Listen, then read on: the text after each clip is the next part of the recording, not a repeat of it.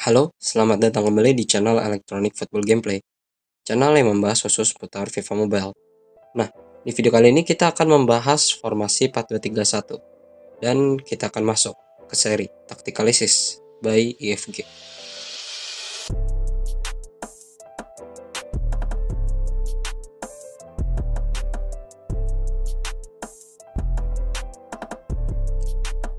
Penggunaan formasi 4231 dalam kurun waktu 5 tahun terakhir terbilang cukup meningkat. Arsenal dan AC Milan menjadi contoh sukses dari tim yang menggunakan formasi ini. So, kita akan bahas ide taktik dari formasi 4231 ini.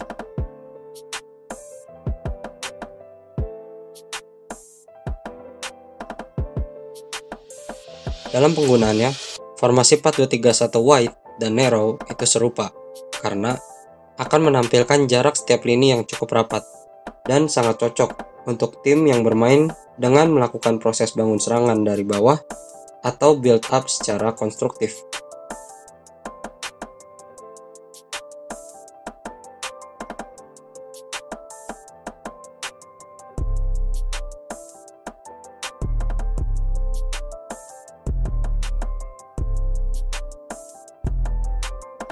Yang menjadi kelebihan dari formasi 4231 adalah jika kita perhatikan, lini pertahanannya akan terisi oleh 4 back dan 2 central defensive midfielder, yang mana akan mengisi setiap 5 koridor lapangan secara vertikal, yaitu 2 koridor sayap, 2 koridor half space, dan satu koridor tengah.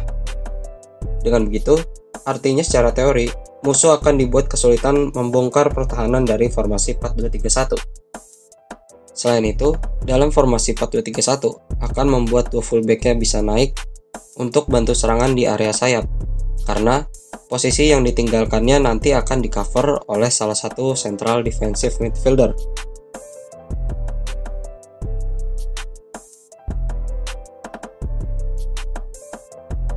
Keseimbangan dalam menyerang dan bertahan perlu diikuti dengan kualitas individu pemain itu sendiri.